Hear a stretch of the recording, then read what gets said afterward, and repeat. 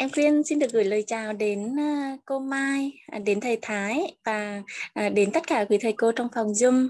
À, đồng thời gửi lời biết ơn đến cô Ngân Lê rất là nhiều vì à, buổi sáng nào cũng mang lại cái năng tích cực rất là tuyệt vời cho cộng đồng của chúng ta. Vâng, cô Ngân. Dạ vâng, xin chào ba cô. Vâng. À, cảm ơn cô Mai một lời ờ, gợi nhớ cho tập thể của ba cô ờ, về bài học về tài chính tâm an thì nhắc nhắc lại cho Bình nhớ là hôm nay đã là buổi thứ tư rồi các quý thầy cô ạ. À. Thời gian trôi nhanh quá và thời gian trôi nhanh cũng có nghĩa là mình mình đang sống những ngày tích cực và cảm ơn cái sự hiện diện của các quý thầy cô ở đây để mà mỗi ngày trôi qua bình à, bình hay là với các quý thầy cô hay là các đồng đội của bình là cô đậu quyên với cô bình minh luôn luôn hướng tới những điều tốt đẹp và chúng ta có một cái bối cảnh vô cùng chặt chẽ đó là ờ, những buổi sáng như thế này của ờ, uh, SE của thầy Thái đã tạo ra và để cho chúng ta luôn luôn tích cực. Uh, xin cảm ơn sự hiện diện của quý thầy cô và rất là vui được gặp lại thầy quý, quý thầy cô ngày hôm nay ạ. À. Xin cảm ơn ạ. Mời cô Minh. Dạ, cảm ơn cô Hải Bình. À, xin chào cô Mai, cô ờ, cô Ngân Lê, à, cô Quyên và cô Hải Bình. Thực sự chào tất cả các quý thầy cô. Lại một uh, tuần mới bắt đầu và đầy năng lượng đúng không ạ? À, nhanh thật, bốn uh, bốn tuần trôi qua rất là nhanh và uh, hôm nay là buổi cuối cùng. Một cái cảm xúc nó vừa uh, một có chút gì đấy uh, thấy um, bâng khuâng mà, và và một chút gì đấy mà chúng tôi rất là hồi hộp, tại vì chúng tôi cũng muốn là à, cái buổi cuối cùng này à, sẽ là cái sẽ có một cái điều gì đấy ấn tượng và để à, giúp cho các quý thầy cô có neo lại một cái những những cái kiến thức về tài chính tâm an, đặc biệt nói về cái dòng tiền đấy trong suốt ừ, cái quá quá trình chúng ta mới ờ, gọi là chia sẻ với nhau một chút chút nhưng mà sẽ neo lại một cái điều gì đó thật là ấn tượng để quý thầy cô uh, thấy rằng là trong cái hành trình kiến tạo uh, kim cương uh, mà chúng ta đã trải qua uh, đó chính là uh, tài chính thì là uh, chúng tôi gọi là tài chính thì chính là mục tiêu nhưng mà bình an tâm an thì lại là đích đến. Nên uh, rất là vui được uh, đồng hành cùng với các quý thầy cô ngày hôm nay ạ. Dạ. à, xin mời uh, cô Đỗ Quyên. Dạ, à, cảm ơn cô Hải Bình và cô Bình Minh. À, quý thầy cô ơi, thật sự là à, chúng ta quan sát cái dòng chảy năng lượng của buổi sáng thì chúng ta sẽ thấy rằng là mới ngày hôm qua thôi thì ờ, cô Thiên Trang đã chia sẻ cho chúng ta rất là nhiều điều về các cái hạt giống thịnh vượng và và khai khai thông dòng chảy thịnh vượng đúng không ạ? Và trong các cái bài chia sẻ của cô Ngân Lê thì quý thầy cô cũng thấy là chúng ta sẽ à, đi vào bên trong rất là nhiều và chúng ta sẽ để ý các cái vấn đề bên ngoài kể cả cách hành xử hay là cách cái suy nghĩ của chúng ta rất là nhiều. À, và đối với à, cái sáng ngày hôm nay là sáng thứ hai thì chúng ta lại nói về cái chủ đề là tài chính. Và khi mà nói về tài chính ấy, thì chắc chắn rằng là cái tiền bạc ấy nó là một cái vấn đề à, nó nó rất là thường trực à, và là cái vấn đề lớn nhất của tất cả các mọi người. Và chúng ta sẽ phải nghĩ cái cách để chúng ta kiếm nghĩ cách mà để chúng ta có thể là làm ra được thật là nhiều tiền à, vậy thì trong một cái buổi ờ, hội thảo rất là lớn ở uh, gặp gỡ các cái vị cao nhân uh, thì có một nam sinh viên mới hỏi như thế này. Uh, thầy ơi uh, các cái vấn đề về tiền bạc là cái vấn đề nó rất là lớn và làm sao để có thể là mình suy nghĩ một cách đúng đắn về tiền bạc? À, thế thì à, vị cao nhân mới nói rằng là à, thực ra ngày hôm nay thì à, à tôi thấy rằng là 90% có thể nói là 100% là là các cái vấn đề của nhân loại đó chính là à, tiền bạc và tình dục. Có thể nói là nhân loại chỉ quan tâm hai vấn đề đó rất là nhiều và nó xuất hiện ở tất cả các cái mặt trận nói chung là xuất hiện ở tất cả mọi cái vũ trụ. À, vậy thì à, thực ra là con người có yêu tiền đến như thế hay là không? À, và nam sinh trả lời là tất nhiên là có rồi thầy ạ. Con người thì em thấy rằng là ai cũng yêu tiền hết. Thì à, cao nhân mới mỉm cười và trả lời rằng là không à, thực ra ấy, là con người không có yêu tiền. Con người yêu những cái điều mà tiền có thể mang đến. À, và à, vị cao nhân phân tích rằng là nếu như mà bạn có à, một một một nghìn đô la nếu bạn ở đất nước của bạn và bạn mang một nghìn đô la đó qua một cái đất nước khác và cái đất nước đó họ không chấp nhận cái đồng đô la của đất nước bạn thì cái đồng tiền đó nó trở nên là vô giá trị. À, nhưng mà à, nếu như mà một nghìn đô la đó mà được chấp nhận thì chắc chắn rằng là bạn sẽ dùng một nghìn đô la đó để mua tất cả các cái thứ mà bạn muốn để có thể sinh tồn. Vậy thì à, tiền nó rất là quan trọng để cho chúng ta sinh tồn và sinh sống. Nhưng mà à, ngày nay thì hầu hết nó nó được đặt sai chỗ thế thì à, vị à, sinh viên mới hỏi rằng là ừ, thưa thầy thì à, tiền đặt sai chỗ là như thế nào? Thì à, vị cao nhân mới trả lời rằng là hầu hết nhân loại ngày nay à, đã đặt tiền ở trong đầu của mình thay vì cái chỗ an toàn nhất của nó đó là chỉ để trong túi. Và cao nhân phân tích rằng là à, khi mà chúng ta à, để tiền ở trong túi thì nó chỉ là một cái phương tiện để chúng ta tiêu dùng thôi. Nó sẽ giúp cho chúng ta tiêu dùng à, những cái nhu cầu của bản thân à, những cái nhu cầu của người khác. Và ngoài ra chúng ta sẽ à, dành thời gian và tất cả mọi thứ để chúng ta à, sống một cái cuộc sống mơ ước chẳng hạn. Như là à, chúng ta sẽ tập yoga hay là chúng ta sẽ dành tất cả thời gian đó để chúng ta làm những việc thiện nguyện. Nhưng mà tại vì chúng ta đặt tiền sai chỗ đó là chúng ta luôn để trong cái đầu của mình để suy nghĩ về đồng tiền. Cho nên cái điều đó nó làm cho chúng ta biến chất và đó cũng là cái câu chuyện buổi sáng mà em quyên muốn gửi đến tất cả quý thầy cô ở trên cái buổi chia sẻ đầu tiên này. À, trước khi mà chị Bình Minh sẽ tiếp tục cái dòng chảy của đồng tiền liên quan tới cái số tiền của mỗi cá nhân thì em quyên cùng với ba chuyên gia gửi đến quý thầy cô một cái thông điệp đó là à, cho dù là chúng ta đang ở trong cái trạng thái tài chính như thế nào đi chăng nữa thì chúng ta cũng đặt để đồng tiền ở đúng cái nơi mà nó ờ, cần ở. Em Quyên cảm ơn và xin mời chị Bình Minh sẽ tiếp tục ạ. À, cảm ơn cô Quyên. Um, từ cái câu chuyện của cô Quyên có lẽ là à, mình rất là mong mong muốn được chia sẻ với cả quý thầy cô một cái à, gọi là một một cái khảo sát nho nhỏ.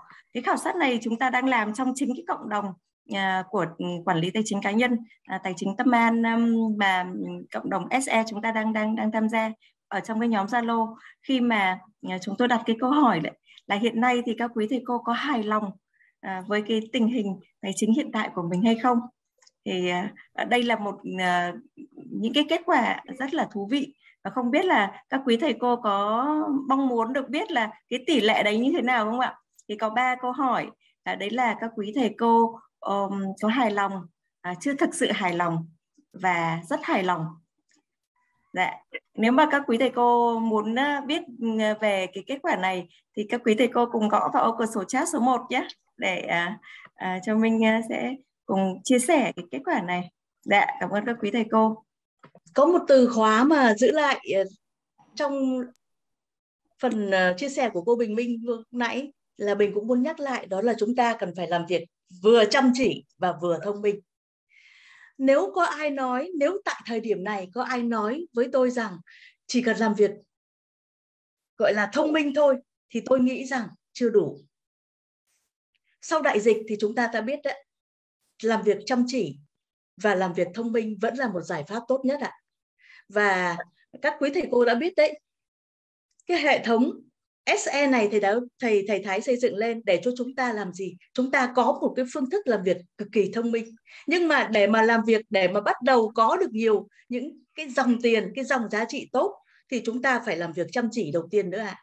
Chúng ta phải chăm chỉ giao giá trị, chúng ta phải chăm chỉ kết nối, chúng ta phải chăm chỉ học hành ạ, à, đúng không ạ? À? Nếu mà cứ mỗi buổi sáng mà chúng ta không có mặt ở đây thì chắc chắn rằng chúng ta sẽ không có nhiều những cái cơ hội để tạo ra những dòng chảy giá trị để mà có thể làm việc thông minh được ạ. Quý thầy cô có đồng ý với với với với mình như vậy không ạ? Chúng ta sẽ phải có cái phải phải đi song song hai cái hai cái cách làm việc này. SE là một môi trường để cho chúng ta có thể làm được hai gắn kết hai cái điều đó với nhau. Chúng ta không có thể nào mà cứ ngồi tôi bản thân tôi cũng vậy ạ. À. tôi cũng không thể nào ngồi một chỗ để mà tôi uh, tự nhiên có một cái dòng tiền đến được tôi phải chăm chỉ kết nối, tôi phải chăm chỉ trao giá trị. Tôi phải chăm chỉ làm việc, tôi phải chăm chỉ dạy học. Tôi phải chăm chỉ ờ, có những buổi zoom ờ, ờ, không phải là chỉ ở cộng đồng của SM mình mà tôi cũng, chúng tôi cũng có rất là chia sẻ nhiều ở những cái cộng đồng khác. Và đó là cái cách chúng tôi làm việc chăm chỉ. Bên cạnh đó, chúng tôi chúng ta cũng có những cái môi trường của SE tất cả đã được số hóa, tất cả đã được số hóa để chúng ta được làm trên môi trường, gọi là cái không gian làm trên môi trường sóng để kết nối kết nối khắp mọi người với nhau bởi vì bây giờ thế giới thì là quá quá tuyệt vời rồi ạ à. chúng ta ngồi đây nhưng mà chúng ta cũng có những người đồng đội, chúng ta cũng có những đối tác ở tận bên mỹ cơ, hay ở châu âu cơ vậy đó là cái cơ hội ạ à. đó là cái cơ hội cho chúng ta các quý thầy cô có luôn luôn đồng ý với mình điều đó không ạ? Chúng ta sẽ làm việc chăm chỉ và chúng ta sẽ làm việc thông minh. Môi trường SE này sẽ cho cho ta những cái cơ hội để chúng ta làm việc thông minh như vậy. Vậy thì chúng ta sẽ, chúng ta chúng ta sẽ hiểu được rằng là chỉ có chỉ có làm việc chăm chỉ và thông minh thì sẽ ra tạo ra rất là nhiều dòng, cái cột tài sản và cái cột tài sản đó, trong danh mục tài sản đó của các quý thầy cô sẽ gồm có cả tài sản vô hình và tài sản hữu hình ạ. À? bây giờ chúng ta chỉ nghĩ rằng là tài sản hữu hình là cái nhà, cái xe hay là những cái gì mà chúng ta đang tồn tại, chúng ta đang, chúng ta đang có trong tay nhưng mà nhưng mà các quý thầy cô cũng sẽ nhận thấy một điều là cái tài sản vô hình, là cái cái cái ngôi nhà của các quý thầy cô trên không gian số cũng cũng là một tài sản vô cùng quý báu ạ. Và bây giờ rất là nhiều người đã, rất là nhiều người đã có được những cái tư duy đó để mà xây dựng cái tài sản trên không gian số. Có thể chúng ta không đi nhanh, chúng ta sẽ bị mất cơ hội rất là nhiều. Và thầy thái hay là cộng đồng SE của chúng ta luôn luôn tạo cho chúng ta rất là nhiều nhiều những những cái kỹ năng để chúng ta có thể sở hữu một cái căn nhà rất là lớn, bền vững ở trên không gian số ạ cái mặt nhóm chuyên gia thì à, em quyên cũng à, à, cũng cũng à, mong muốn rằng là quý thầy cô của chúng ta hãy nhờ tới công thức này để chúng ta có thể là thịnh vượng cùng nhau trên cái hành trình mà chúng ta đang đi à, và em quyên cảm ơn quý thầy cô đã lắng nghe rất là nhiều à, mời cái sự à, tiếp lời của à, hai chuyên gia còn lại đó là chị Hải Bình và chị Bình Minh trước khi mà chúng ta phải xa rời cộng đồng thân yêu của mình trong cái buổi chia sẻ lần cuối này ạ. À, cảm ơn uh, cô Quyên.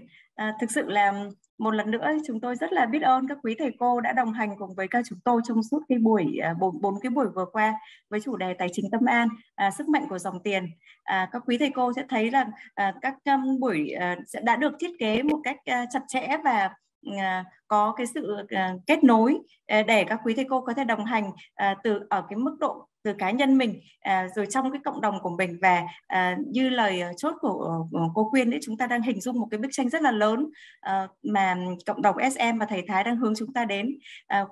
Chúng tôi cũng mong rằng là ừ, những cái buổi chia sẻ mặc dù rất, thời gian rất là ngắn ờ, chúng tôi cũng cố gắng nén lại cô động lại ở một vài những cái dạng công thức và các quý thầy cô sẽ áp dụng được một phần nào đâu đó để chúng ta cùng với nhau hành trình đồng hành với nhau trong cái hành trình kiến tạo bản thân thành những viên kim cương sáng và cùng lan tỏa đến, đến những cái người xung quanh nhiều hơn nữa. Dạ, xin cảm ơn các quý thầy cô rất là nhiều.